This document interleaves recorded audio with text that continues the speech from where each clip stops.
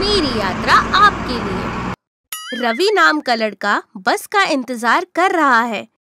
वो लड़का बहुत खूबसूरत है, लेकिन उसका ड्रेसिंग स्टाइल थोड़ा पुराना है।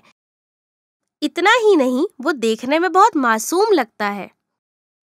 इसी बीच स्टॉप पर वो बस भी आ गई, जिससे रवि को कानपुर जाना था। लेकिन वो कोई साधारण बस नहीं, लग्जीरियस बस थी। और बस में चढ़कर रवि ने ड्राइवर से बड़े प्यार से पूछा सर ये कानपुर को जाने वाली आखिरी बस है या इसके बाद कोई और भी बस आएगी? तो ड्राइवर बोला ये आखिरी बस है नहीं तो कल सुबह ही मिलेगी दूसरी बस. लेकिन इसका टिकट कितने का है सर? चार सौ रूपए. रवि ने अपना बैग और पॉकेट चेक किया उसके पास 400 में पाँच कम थे। फिर कुछ सोचते हुए उसने ड्राइवर से बोला सर आ, मेरे पास तो पाँच रुपए कम है। अच्छा ठीक है। बैठ जाओ। रवि ने तुरंत अपने सारे पैसे दे दिए और टिकट ले लिया। ये पहली बार था जब रवि लक्जरी बस में चढ़ा था और उसे तभी बस के एसी से ठंड लगने लगी। रवि के लिए वो एक विमान की सवारी जैसा अनुभव था। बस के बाकी सारे यात्री उसकी मासूमियत देखकर उस पर हंस रहे थे। पर रवि तो खुशी खुशी अपनी खिड़की के पास वाली सीट पर मज़े ले रहा था और अपनी यात्रा को एंजॉय कर रहा था। और बस के थोड़ा आगे चलने के बाद एक बहुत ही अमीर घर की लड़की प्रिया, जो कि बड़े स्टाइलिश से कपड़े पहनकर चेहरे पर नकाब लगाए, बस में आकर चढ़ी। और उसने अपने स्टाइल से पूरी बस की सवारी को अपनी ओर आकर्षित कर लिया। यहाँ वहाँ देखने के बाद वो रवि के बाजू वाली खाली सीट पर बैठ गई। पर बाकी लोगों का ध्यान तो प्रिया पर ही लगा हुआ था। लेकिन रवि ने देखा कि एक अपाहिज आदमी बस पर चढ़ नहीं पा रहा था तो रवि ने उसकी मदद कर उसे बस पर चढ़ाकर अपने बाजू वाली सीट पर बैठा लिया। सभी लोग ये देखकर चुपचाप बैठ गए। और बस आगे को चल पड़ी। लेकिन बस में बैठे बाकी सारे लड़के किसी न किसी बहाने प्रिया को देख रहे थे और कोशिश कर रहे थे कि वो किसी न किसी तरह से प्रिया से बात कर लें। दूसरी ओर रवि ने देखा कि हर कोई सीट को थोड़ा मोड़ कर बैठा हुआ है। तो रवि भी अपनी सीट को मोड़ने की कोशिश करने लगा। लेकिन उसे नहीं पता था कि सीट को कैसे मोड़ा जाता है। और सभी यात्री उसे देखकर हंसने लगे। पर रवि को इस तरह परेशान होते हुए देखकर प्रिया रवि के पास पहुँची और सीट को मोड़ने के लिए सीट डाउन का बटन दबाया। और अब रवि की सीट भी मुड़ गई। रवि खुशी से और मासूमियत से बोला, तुम बहुत अच्छी हो, जो तुमने मेरी मदद करी, क्योंकि बाकी लोग तो मदद न करके केवल हँसते हैं। शायद आप पहली बार लग्जरी बस में चढ़े हो इसलिए आप वो बटन नहीं जानते थे। पर ये आपने कैसे पहचाना? समझ आता है। जैसे जैसे बस आगे बढ़ती जा रही थी रवि से ठंड बर्दाश्त नहीं हुई और वह चिल्लाकर रोने लगा। बस पे बाकी सारे लोग देख रहे थे कि रवि के साथ हो क्या रहा है। ड्राइवर भी वहाँ आ गया और उसने रवि से पूछा क्यों चिल्ला रहा है? तो रवि बोला बहुत ठंडा है मैं नहीं रह सकता। ओफो इतनी सी बात के लिए बस रुकवा दी। और फिर ड्राइवर ने बस एक होटल के पास जाकर रोक दी। सभी लोग बस से उतरकर होटल के पास चले गए लेकिन रवि तो अकेला ही बस में बैठा रहा। तुम कुछ खाने पीने बाहर क्यों नहीं निकलते बस से? आ, मेरे पास पैसे नहीं है। कुछ देर बाद बस फिर से अपने सफ़र को आगे बढ़ी। और बस में बैठे एक आदमी ने प्रिया की तरफ़ देखते हुए बोला ए लड़की क्या तुम इतनी सुंदर हो जो नकाब से अपना मुँह ढके जा रही हो? अरे ऐसी भी क्या खूबसूरती जो किसी को दिखा ना सको? उस आदमी की बातें सुनकर रवि गुस्से में बोला आपको जमाने से क्या लेना देना? आप अपने काम से काम रखो। और इस बात को लेकर दोनों में काफ़ी बहस होने लगी। तभी प्रिया ने बोला कि इसको मैं अभी चेहरा दिखाती हूँ। और जैसे ही प्रिया ने अपने चेहरे से नकाब हटाया तो सभी ने देखा कि उसका चेहरा तो एसिड से जला हुआ है। और जो लोग उसे इतनी देर से खूबसूरत समझ रहे थे, अब वही लोग उसके चेहरे को सही से देख भी नहीं पा रहे हैं। पर रवि प्रिया के जख्मों को देखकर भी उसे प्यार भरी निगाहों से देख रहा था। और तभी उसने प्रिया को हिम्मत देते हुए कहा, इंसान, शरीर से सुंदर हो या ना हो, लेकिन उसका मन से सुंदर होना बहुत ज़रूरी है। तुम परेशान मत हो, प्रिया। मैं अपने शरीर के कारण परेशान नहीं हूँ, रवि। बल्कि मैं तो इस बात से परेशान हूँ कि कोई भी मुझसे शादी नहीं करना चाहता।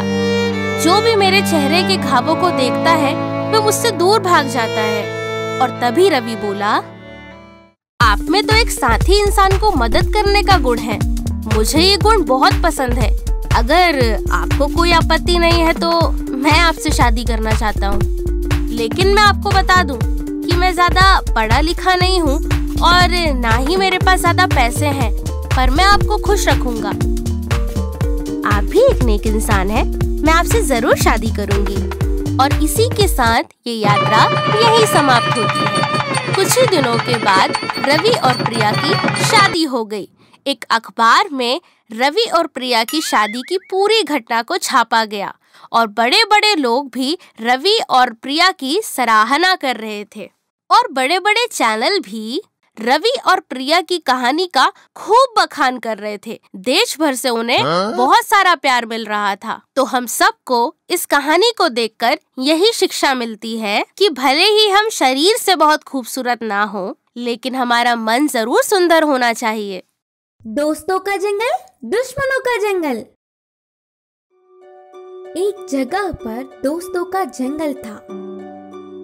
नाम के जैसे ही उस जंगल में रहने वाले सारे जानवर दोस्ती से मिलजुल कर रहते थे। बकरी, भेड़िया मिलकर खेलते थे। हिरन, शेर मिलकर घूमते थे। भाग गधा मज़े से गपशप करते। उनके प्राकृतिक झगड़े उस जंगल में दिखते ही नहीं थे। बाजू के दुश्मनों के जंगल से कुछ नाकाम जानवर आकर इनके बीच लड़ाई करके संतुष्ट होने की सोचने पर भी उनके कोई दाल नहीं गलते थे। दोस्तों के जंगल में सबसे अच्छे दोस्त चुहा बिल्ली थे। बिल्ली को थोड़ा दैव भक्ति अधिक थी। खाने के लिए जाते वक्त, खाते वक्त ईश्वर की प्रार्थना करके ही खाता था। चूहे में बहुत साहस और बुद्धि थी। किसी भी तरह उसके छोटा सा पेट के लिए खाना मिलेगा ही, करके उसका विश्वास था। वे दोनों मिलकर पूरा दिन घूम के खाना कमा कर खाते और कुएँ में पानी पीकर पेड़ के नीचे बैठकर गपशप करते।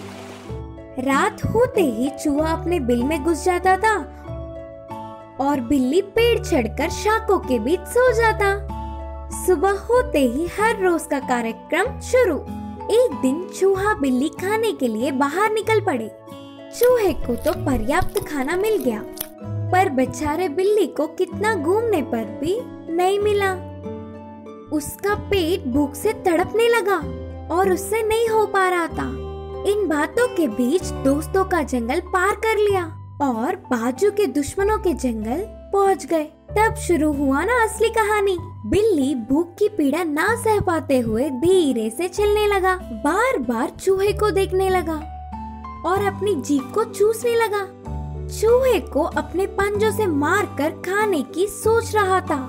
चूहे ने अपने दोस्त को देखा और जल्दी चलने लगा। बिल्ली अपने सहजता के गुण चूहे से लड़ाई, अपना खाना अचानक याद आ गए। अचानक रुक गया और चूहे को देख कहा, दोस्त, भूख से तड़प रहा हूँ ना? मुझे माफ़ कर दो, आज तुम्हें खा जाऊँगा। कहा भूखा बिल्ली। चूहे की अंदाज़ा सही साबित हुई और उसका दिल टूट गया। बिल्ली नहीं छोड़ेगा, उनकी लंबी सी दोस्ती आज से ठीक खत्म। सोचते हुए विनम्रता से कहा कि, दोस्त, इससे ज़्यादा खुशी होगी क्या? एक दोस्त की भूख की पीड़ा को मैं बुझा रहा हूँ ना तो इस बात की मुझे खुशी होगी। माफ़ कर दो दोस्त। दोस्ती में ऐसे भी हालात आएँगे करके मैंने कभी नहीं सोचा था। सामने ही भोजन रख कर कहीं और ढूंढना कितनी मूर्खता है ना? अच्छा चलो ठीक है शुरू करो। तुम्हारी आदत के अनुसार भगवान से प्रार्थना कर लो। फिर मुझे खाने में खाकर अपना पेट भर लो। चूहे ने बहुत ही दया से कहा। दोस्त की अच्छे मन से बिल्ली खुश हुआ। बहुत समय से चूहे की दोस्ती में मांस को छुआ तक नहीं। आज उसकी इच्छा पूरी होगी करके खुशी से आँख बंद करके ईश्वर से प्रार्थना करने लगा। और कुछ देर बाद आँखें खोले तो सामने चूहा नहीं था। अचानक से बिल्ली चौंक गया। दोस्त कहाँ हो? बोलते हुए ज़ोर से चिल्लाने लगा। तब तक ही बिल में घुसने वाले चूहे को देख गुस्से से कहा, विश्वास करके धोखा दिया ना मुझे, धोखेबाज! अच्छा तो तुम कुछ कम थे क्या? हमारी लंबी सी दोस्ती भूल कर भूख में दोस्त की भली चढ़ाने वाले थे। ये धोखा नहीं क्या? तुम्हारी असलियत तुमने दिखा दी, दोस्त। अब मैं चलता ही हूँ, अब मैं चलता हूँ। बोलते हुए बिल में घुस गई। चूहे की बुद्धि से बिल्ली सदमे में आ गया। इस कहानी की सीख है कि दुश्मनों से दोस्ती सदैव कतरा ही लाता है। बुरे का भलाई करने वाला हाथी। एक जंगल में नदी के किनारे एक बड़ा सा पेड़ था। उस पेड़ के नीचे ही एक हाथी रहता था। वह हाथी बहुत ही अच्छा था। वह हर रोज सुबह ही खाने के लिए बाहर घूमता। फिर ऐसे लाए हुए खाने को थोड़ा खाकर और थोड़ा बाकी के जानवरों को या पक्षियों को देता। ऐसे ही किसी के भी कोई कष्ट होने पर उससे जितना हो सके उतनी मदद करके उन्हें सहारा देता। इसीलिए जंगल के सारे जानवर और पक्षी उस हाथी के साथ दोस्ती करते थे। पेड़ के नीचे हाथी रहता तो उसी पेड़ पे एक बंदर रहता था। वह बंदर बहुत ही शरारती था, ऊपर से स्वार्थी भी था।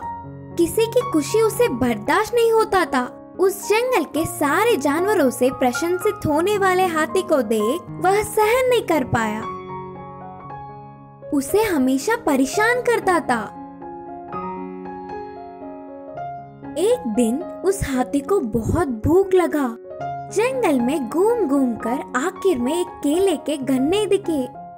उन्हें धीरे से खाने के लिए उसके रहने वाले पेड़ के नीचे लाकर रख लिया। प्यास लगने के कारण पहले पानी पीने के लिए नदी के पास गया। इतने में पेड़ के ऊपर रहने वाला बंदर नीचे के केलों को देख हाँ हाँ मेरे मनपसंद केले वह हाथी के पानी पी के आने तक मैं कहा जाऊँगा। बोलकर तेज़ी से पेड़ उतर के खाने लगा। वह हाथी को आता देख बाकी के केलों को नदी में फेंक दिया और बंदर पेड़ चढ़ के बैठ गया। जैसे उसे कुछ पता ही ना हो, फिर वहाँ आई हुई हाथी अपनी खाना गायब होता देख पहले से ही भूखा होने के कारण बहुत उदास हुआ। वह काम किसका है करके जानते हुए भी जगड़ना क्यों करके चुप रह गया। फिर एक दिन पेड़ से उधर इधर उछलते हुए शरारत करने वाला बंदर फिसलकर ऐसे ही नीचे गिर पड़ा। गिरते ही उसके हड्डी टूट गए। ना उठ पाता हुआ, बचाओ बचाओ! करके ज़ोर से चिल्लाने लगा। बंदर की चीख सुनकर कौवा हिरन उधर आने पर भी सिर्फ़ देखे और उसके बारे में जानते हुए अच्छा हुआ बोलकर अच्छे से हंसकर चले गए। शाम को उधर लौट के आने वाले हाथी को रोता हुआ बंदर दिखा। एक क्षण में ना सोचते हुए, तुम्हें कुछ नहीं होगा, घबराओ मत, दोस्त। बोलते हुए उस बंदर को अपने पीठ पर बिठाकर बहुत ही दूर रहने वाले चिकित्सक बालू के पास ले गया। समय रहते ही इलाज होने पर बंदर जल्द ही ठीक हो गया। अगले दिन हाथी से, समय पर भगवान की तरह आकर मेरे प्राण बचाए, लेकिन मैंने तो तुम्हें कई तरह के परेशानियाँ दी। मुझे माफ़ कर दो। बोलते हुए बंदर ने क्षमा याचना की। उसके बाद व्यवहार बदलने वाला बंदर हाथी के साथ बाकी के जानवर भी अच्छे से रहने लगे। इस कहानी की नीति है कि हमेशा सबके साथ मिलजुल कर रहना चाहिए।